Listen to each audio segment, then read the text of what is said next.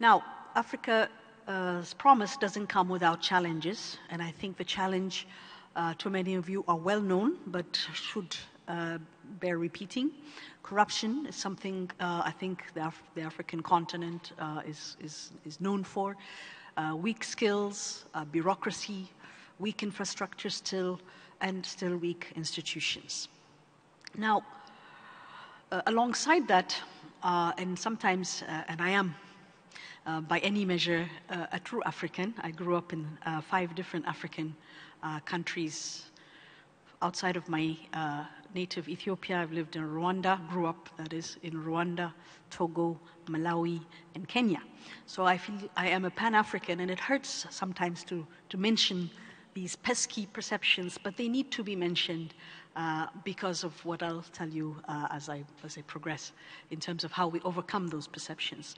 But I think um, if we're, you know, if we were to poll uh, people about what they think about doing business in Africa, uh, they would say, oh, people are lazy, they're slow, things are slow to get started, it's chaotic, risky, corrupt. These are the things every day while we're building our businesses we're tackling.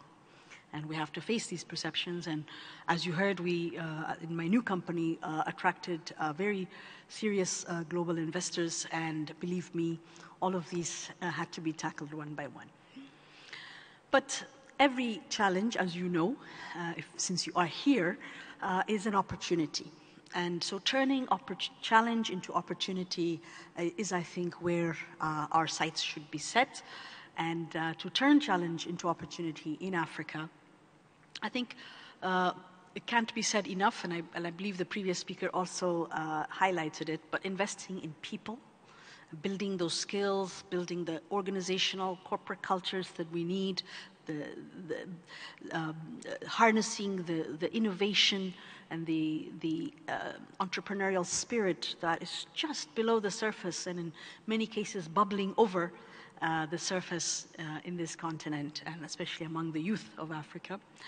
Uh, thinking beyond a single business approach to an ecosystem uh, approach because often it's not the fact that the business itself is unviable uh, or doesn't have a potentially good return, it's the issue that lies in the lack of allied uh, services and ecosystem structures uh, that often uh, spell the, the, the, the, ills of the businesses that we're, we're trying to get into.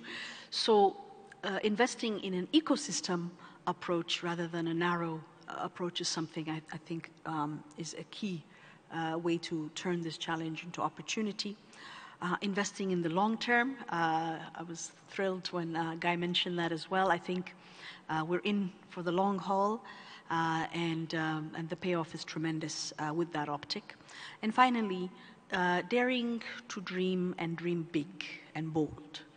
Uh, Africa is uh, not only an exciting place to invest, but it's a place where big uh, things uh, are happening uh, and big things can happen. And uh, so I think, um, you know, for me, this is, this is Africa's time, and there's no reason to, to think small.